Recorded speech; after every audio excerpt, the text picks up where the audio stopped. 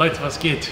Heute könnt ihr uns über die Schulter schauen. Heute trainiere ich den Schwergewichtsweltmeister. Ich muss ihn eigentlich gar nicht vorstellen. Mahmoud Shah, der aktuelle WBA-Schwergewichtsweltmeister. Und äh, ihr seht, ich habe noch ein Schmunzeln im Gesicht. Der bringt mich immer zur Weißglut. Wir fangen jetzt an. Es geht los mit Erwärmung. Auf jeden Fall eine spezielle Einheit, die heute drauf ist. Das wird Spaß machen. Bis gleich, Leute. Let's go, Champ. Zieht euch das Video auf jeden Fall bis zum Ende rein, denn es gibt wieder was zu gewinnen. Verkünden werde ich gleich was und vor allem wie ihr es gewinnen könnt.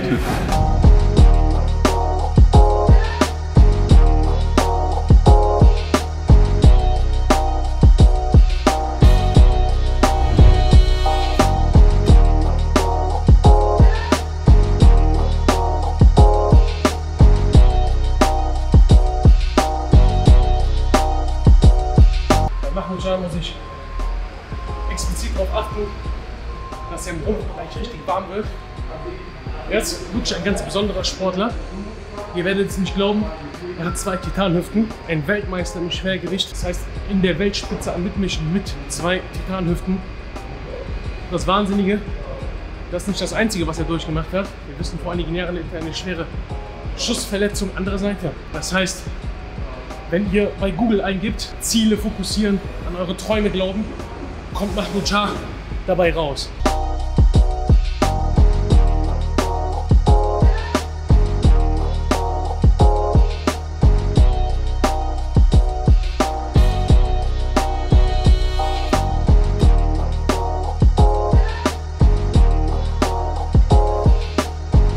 Wichtig bei Profiboxer medizinische Tipps zu machen als die klassischen Boxbandagen. Und auch im Schwergewicht benutze ich immer handgefertigte Boxbandagen. Diese werden auch bei Wettkämpfen speziell auf die Boxer angepasst. Vor Wettkämpfen, vor Profikämpfen werden Profiboxer immer getaped. Sehr wichtig, um die Knochen zu schützen. Auch ich tape mich vor der Pratzenarbeit. Meine ledite Hand. Handmodel werde ich nicht mehr in diesem Leben. Und bei seiner Wucht, bei seiner Power in den Schlägen. Wenn ich das nicht mache. Es gibt Scarface, Scarhand.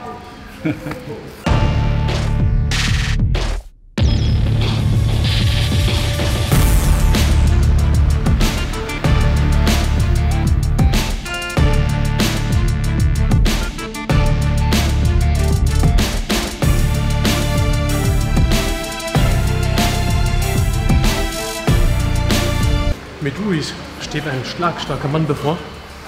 Grundsätzlich ist die Schwergewichtsklasse eine eigene Klasse, wo sehr viel Wucht und Power in den Schlägen ist. Im Hinblick auf die Vorbereitung zu Ruiz will man das Rad gar nicht neu erfinden. Wir haben gesehen, was man gegen Ruiz falsch machen kann. Anthony Joshua gegen Ruiz. Wir haben aber auch gesehen, was man gegen Ruiz richtig machen kann im Rückkampf beim Sieg von Anthony Joshua. Und äh, genauso wird man es eingehen, leichtfüßig, mit schnellen Händen und permanent höchst konzentriert bei der Sache sein.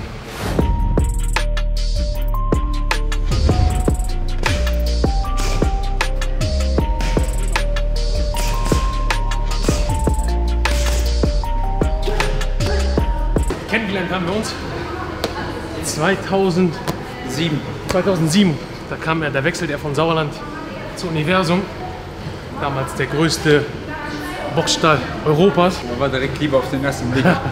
Von Anfang an hat er mich wahnsinnig gemacht. Und jetzt vom Sportkamerad zum Trainer. Er will antworten, 100% er reagiert. Er ist wie ein Pitbull. Er reagiert. Du legst Buben rechts und dann will er antworten mit Left Hook. Und du ziehst over hin.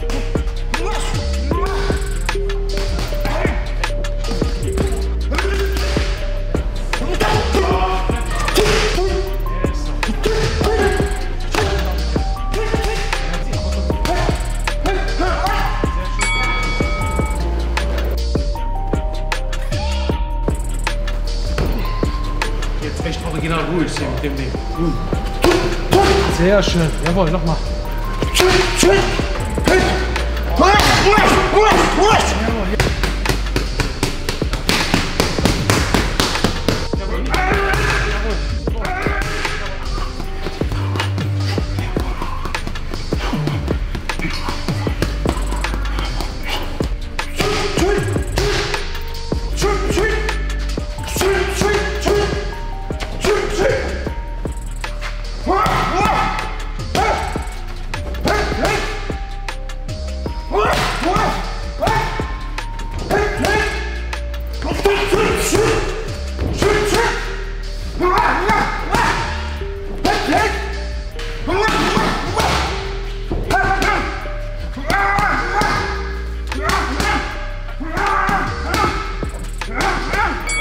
Profiboxen ist kein Ponyhof. Schon gar nicht. In der Weltspitze. Mahmoud ist ein, ein Sportler, der aus seinen Möglichkeiten so das absolute Maximum rausge rausgeholt hat. Und ich muss ganz ehrlich sagen, als Trainer macht es mir viel mehr Spaß, äh, mit Athleten zu arbeiten, ja? die wirklich bereit sind, alles zu geben, als ein ewiges Talent, ähm, das, wenn die Luft eng wird oben, aufgibt oder nicht das Herz hat, weiterzukämpfen. Wille versetzt Berge. Harte froh- Arbeit zahlt sich aus. Ich freue mich auch ganz ehrlich, heute euch so eine kleine Botschaft mitzugeben, vor allem an die jungen Menschen da draußen, dass was möglich ist, wenn du beharrlich und fest davon überzeugt bist. Und fragt, oder wir fragen Mahmoud, wer hat an dich geglaubt? Oder wer von dir überzeugt in deiner Jugend oder als du beim Universum angefangen hast? Außer du selber. Ich habe nur an mich geglaubt. Egal, was die Familie über mich gedacht hat, Freunde, Bekannte, Promoter, der Boxstelle oder die Presse.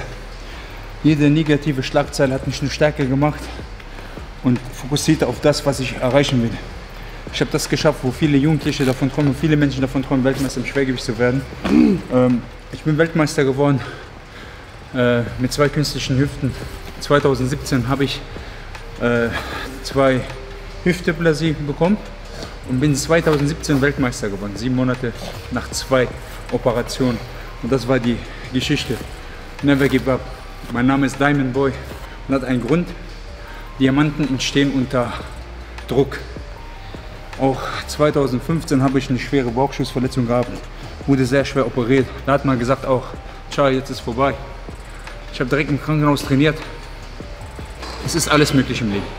Jeder Traum ist machbar. Zu Erfolg gehört sehr viel Opferschaft. Und unabhängig von Mahmoud, egal mit welchem erfolgreichen Sportler, Akademiker, äh, Mediziner spricht, alle Male, ich kenne niemanden, der keinen steinigen Weg hatte und niemand, der nicht die notwendige Opferschaft an den Tag gelegt hat. Ich bin ein großer Freund von Sprichwörtern und wie sagt man so schön, im Leben kriegst du nichts geschenkt. So Mahmoud, wer ist nach dir der stärkste Schwergewichtler unserer heutigen Zeit? Ehrlich gesagt, ich schaue nach keinem, ich schaue nur auf mich. Ich bin, ich schaue mir auch äh, insgesamt keine Boxkämpfe an. Ich bereite mich nur auf meine Kämpfe vor, auf mein Ziel und auf meinen Gegner. Und jeder der Gegner, der mit mir in den Ring steigt, ist für mich der Beste, weil er mich herausfordern will. Er will mir meinen Sieg stellen.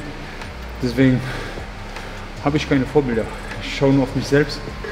Und das ist das Ziel. Du musst nur an dich glauben, deine Träume, deine Wege und deine Wege führen dich zu deinem Ziel. Wenn ich mich ablenken lasse von anderen Schwergewichten und sage, da sind meine Vorbilder, dann bin ich noch ein Nachahner. Ich werde niemals das sein, was ich bin. Deswegen mache ich nur das, was ich kann und wer ich bin. Und das ist, ich bin mein eigener Fan. Ja, und die Leute jetzt da draußen, die jungen Leute, die sagen, hör mal, der hat so viel erreicht, ne? Der ist groß geworden im sozialen Brennpunkt, hat sportlich alles erreicht, ist Weltmeister. Was sind noch so deine Ziele? Meine Ziele stehen ganz also Wie lange Sport, willst du noch boxen? Auf jeden Fall, Du ich bist werde doch topfit. Ja, ich bin in meinem besten Alter im Schwergewicht, 35 Jahre ist überhaupt keine Zahl. Ich habe da Minimum noch zwei, drei Jahre Puffer. Ich will auf jeden Fall den Titel jetzt verteidigen, äh, nur gegen die Starken. Ich bin jetzt kein Typ für Aufbaukämpfe, obwohl ich schon seit zweieinhalb Jahren nicht mehr im Boxring war. Aber ich bin kontinuierlich jeden Tag im Training, konstant. Ich halte meinen Fokus aufrecht. Das ist das immer, was ich immer sage, immer sein Ziel zu verlieren im Leben. Äh, seit zweieinhalb Jahren trainiere ich jeden Tag und da sieht man auf meiner Instagram-Seite oder Facebook, ich bin ständig im Training und das ist wirklich sehr, sehr hart für einen Menschen, wenn man einen Traum hinterherläuft und seit zweieinhalb Jahren steht alles. Man, hat, man denkt immer, die Zeit bleibt stehen, aber in Wirklichkeit spielt die Zeit für dich, weil du ständig im Training bist. Du verlierst nicht den roten Faden und das ist das Ziel zum Erfolg. Ich werde noch ernten, ich werde auf jeden Fall kämpfen. Wir haben jetzt Corona-Zeit, ich muss busy bleiben. Ich habe Andi Russ herausgefordert. Ich hoffe, der nimmt den Kampf an und boxt nicht gegen einen alten Mann an, äh, äh, Chris Areola, weil der Kampf wäre lächerlich. Ich biete ihm einen Schwergewichts-WM-Kampf an, WBA. Und äh, danach hat er die Möglichkeit, wenn er gewinnen sollte, nochmal gegen den Rückkampf gegen Joshua oder Tyson Fury zu boxen. Und das sind auch meine Ziele. Ich will nur die großen Namen, die großen äh, Kämpfer, die großen äh, Kämpfe. Wie gesagt, ich suche keine Ausreden. Ich brauche keinen Aufbaukampf. Ich habe eine tolle Erfahrung, tolle Karriere. Ich habe schon gegen Vitali Klitschko, Povetkin und große äh, Schwergewichter im Ring gestanden. Ich bin bereit für jede Aufgabe. Abschließend, was sagst du Tyson, Roy Jones? Äh, ich bin ein absoluter äh, Tyson-Fan und auch Roy Jones, also zwei, zwei Jugendhelden stehen gegenüber äh, im Ring. Das war immer mein Traum, dass die beiden mal gegeneinander boxen, aber alles kommt zu seiner Zeit. Er wird auf jeden Fall die ersten vier, fünf Runden für Tyson schwer sein, weil Roy Jones versucht über seine Schnelligkeit, die Beinarbeit, das Auge, was er hat, das Talent zu nutzen. Aber wir wissen leider auch, dass äh, Roy Jones einen schwachen Kinn hat mittlerweile. Der Kopf ist schon durchgeschlagen, sagt man so in der Boxsprache. Tyson wird ihn treffen und schwerst K.O. schlagen. Das ist meine Devise. So Leute, das Gewinnspiel. Es gibt diese zwei fetten Shirts zu gewinnen von Mahmoud Shah, original signiert von dem Schwergewichts-Weltmeister. Was ihr dafür machen müsst, Leute, Kanal abonnieren, kommentieren, Video liken, zwei Shirts, einmal in weiß, einmal in schwarz. Vielen Dank, dass ihr heute wieder dabei wart und ich hoffe, ihr konntet von dem aufschlussreichen, informativen Video profitieren. Bleibt dabei bei Maurice Beber. Beber.